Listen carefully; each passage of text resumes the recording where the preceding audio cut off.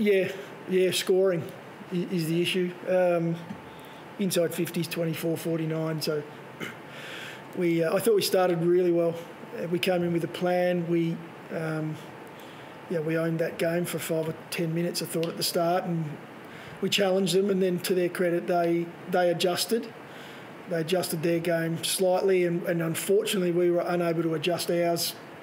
You know, in the heat of battle. So that's a work on. We're, um, you know, we're a, we're a younger group than they are, and we weren't able to do that in game, unfortunately. So what it looked like was overdoing handball. You know, the extra handball, maybe extra three or four handballs when we should have kicked in. Um, that you start to look at some of the numbers and you go, well, you know, the opportunities we had to go inside 50 and give our young forward line a chance, we just didn't do it. Um, they brought the pressure and there's, there's your turnover score. So it, it was, look, I'm uh, really positive for us, a step forward, but we've got to score more than that. Um, and it comes off the back of just being able to adjust in game. Clearances early, that was probably the difference. they, they probably had 10 or 11 in a row there. Mm. Like you said, you started well and you just didn't see it for a while. It probably, probably turned around. Um, yeah, early on, probably the decisive thing. First quarter, yeah, first quarter they definitely they got on top of us at stoppage. That changes the game slightly. You're on your back foot, but um, we managed to bring that that back to about even for the second quarter. So we made some small adjustments in there, purely mindset. Um, got us back into the game a little, but again, um, you know, we ended up hurting ourselves today. We ended up. I loved the way we moved the ball. I love the way we took the game on. Um, we just overdid it at times. What do you say to forwards when they only need 24 looks? It's hard, a hard job be trying to score How hard is it for them to focus on what they yeah, it's a, it's a tough gig for, especially you know when you've got an average games down there of around four, um, in comparison to what's at the other end. So we've, they're a young group. Um, they're not complaining. They're, they're going to work and they're getting to work. We've we had opportunities to, to put that ball inside 50 and we're just not taking them at, you know, at the right time. We're making the wrong decisions. Um, and what that's doing is putting more pressure on us um, in defence. Unfortunately, you know, some of it's hard to recover from when you're making errors, and it's it's a, a decision making error that can go from possibly into our end, and it's coming back in the other end for, for an inside 50 for them. Reilly um, probably made a pretty honest honest work of his assignment after uh, making it a lot harder for himself early in the week. How, how did you view not just his performance, but the, the lead up and how it all played out? Uh, I thought he played really well today against a, you know, a, a very accomplished ruckman in Nick Naitanui, and, and it was a great battle. I thought they had a great battle.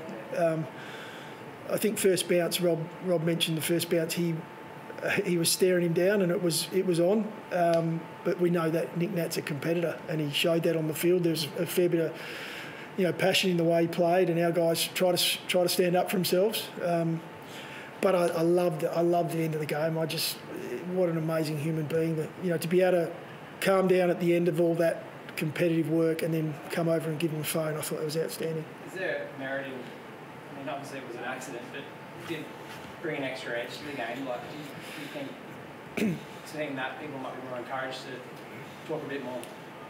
a bit of to, trash, to tweet? Yeah, yeah, like be a bit like we were saying. Don't tell our boys that. All the time, but it's not really the Australian way.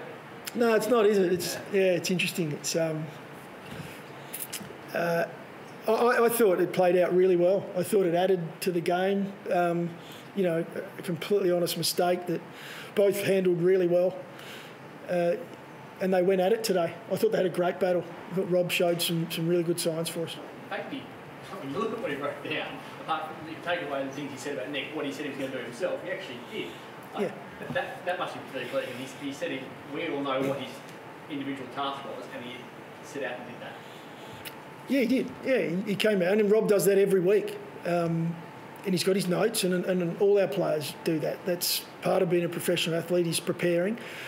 Uh, there's a lot more detail than what he actually had in that note. Um, but yeah, I thought I think you're right. I thought he went out there and he that was what he was aiming to do, and he played a, a solid game. Unfortunately, we, we weren't able to do that across the board. We weren't quite able to get it done. Were you watching when Nick had or did you find out about it? We we were having a discussion upstairs just around uh, review and what we took out of the game as a coaching group, and it came up on the screen. So we had quite a chuckle. Yeah. Would you um, suggest anyone follow that lead if they're looking for a bit of a pick up the fun? Tweet about Yeah. about Nick Nat? Well, No, not no. him, but anyone, you know, like, is, is there merit in it, do you think, to Oh. it up? No, I don't think. I don't think it's needed. I, th- I, I, as you say, it's the, they do it a lot in the US, but our boys are a little bit different. Have you got any injury issues? Obviously, Shane McAdams, you heard his ankle played. That's the ankle Yeah. he broke many years, a few years ago. Hasn't he? Pulled- Yeah, well, we don't know the detail yet, but he's pulled up reasonably well. Um, you know, we're fingers crossed on that one because we love what Shane brought. Um, you know, he's he's only going to get better and better as he, he gets more experience out on the ground. So, uh, Sloaney took a knock to the hand, so we'll have to we'll have to scan that and or X-ray and just check what's what's happened there. Um, but yeah, I thought out of the game we had a number of really positive uh, performances from our younger guys. You know, Hamill McPherson first game in. Uh, he cramped at one point, but you know that step up in speed and, and what you see at AFL level from what he's been playing, and they- they've been playing slightly shorter quarters in the in the practice matches. So uh, there's some really positive signs from from that point of view with our with our younger guys. Um, we tried McAsey forward. I, I thought he, he jumped at a few. He had a it was a big challenge for him tonight because you know against a, a high quality, experienced backline who can who can take a clunk. Um, I thought he fought reasonably well down there, and as you said, we didn't we didn't give him too many opportunities. We'd like to get the ball and a little more to him, but Does that look serious for the? Or Uh, are your thoughts on it right?